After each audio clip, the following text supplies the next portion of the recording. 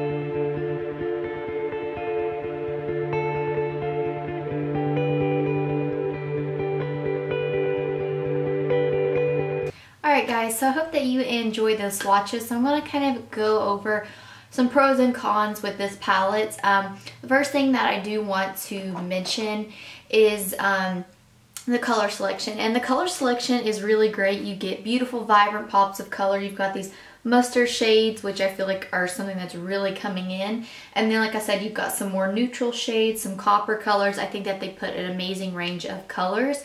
I do like the packaging just because I can see everything through here. Um, the only thing that I've noticed is some of my shades when I was working with them and swatching them, they are coming, the pans are coming out, but you can just glue those back in if that's a problem. Um, the first time I tried this on my eyes, I gotta be honest, I didn't like it because some of them have some kick up and they still do and some of them are creamier than others. I find that the dark shades worked a lot better on my eyes than the lighter shades did. And these lighter shades, like I said, they do have some kick up in them and they're not like super creamy. Um, but when I add Fix Plus or this e.l.f. Um, makeup mist and set, when I spray that on my brush and then pick these up, they're super creamy. They've got that foiled look and I love them that way. But like I said, on their own, I feel like they're not, like, they don't blow me away, I guess. The darker shades though, I don't have to use like Fix Plus or that e.l.f. spray with because the darker shades are, like, I feel like a lot creamier. Um, than most. But like I said, again, like especially this row right here of lighter shades, they do have quite a bit of like kick up and stuff like that. And the worst one is this orange one right here, which is one of my favorites. But like I said, add some Fix Plus and it's fine. Also, I noticed when I was working with these on my eyes that if I really kind of um, like went like this with my finger and kind of got that first layer off that when I, the product underneath was a lot better.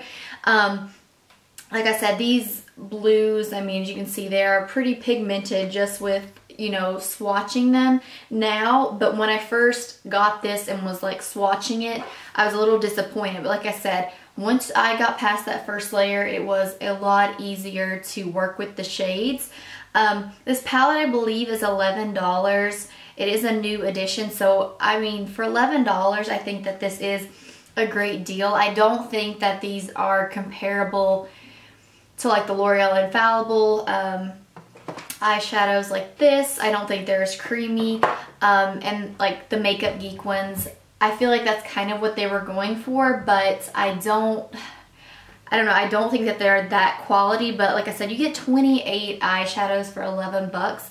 And again, like I said, you can just add some Fix Plus or again, you can use some of the shades on their own. There is just a little bit of kick up and a little bit of fallout, which I know not everyone will like. But overall, I do really like this palette. Um, and I think that if you are on the fence about it, then I would get it and give it a try, especially if you haven't really like experimented with foil eyeshadows. But if you definitely want that foil look on your eyes, I would definitely recommend using like Fix Plus or something because that really helped dramatically. As far as the wear of these eyeshadows, I've, I think I've worn them a total of like eight hours, um, eight to 10 hours or whatever. I can't remember what time I took my makeup off. But anyway, so the longevity of them is really nice and I like that because sometimes where I have hooded eyes and I have foiled eyeshadows, like it can start transferring up here and then I have like, you know I'm saying, like the my eyeshadow starts fading in the crease really bad. These I haven't had an issue with doing that, so that is one of the reasons that I really do like this palette. But um, yeah, so um, they don't have any chunks of glitter in it. Um, the only one that does have quite a bit of like chunkiness to it, like I said again, is this orange shade right here. Um, but overall, the other shades are fine. Like I said, there is like a little bit of glitter, like fine, fine glitter in these. But, and it's just in like the select few too. Here's like a mustard shade, but I don't know. Overall, I really like it. The only one too that I want to mention that's not like creamy whatsoever until I add Fix Plus is this dark shade right here. Because I tried to use this one all over my eye for smoky eye and like it's almost like a matte. I feel like it has like a matte finish and it's not like the creamiest one. But I was still really impressed. For $11 and 28 of these, I was really impressed. So um, I'll definitely, definitely keep you guys updated. Maybe you'll see my favorites video or something when I get to kind of use it more. But um, if you guys like these reviews and stuff, just let me know in the comments down below. Or if you have purchased this palette, let me know what you guys think about it. And thank you guys so much for watching. And I'll talk to you guys later. Bye.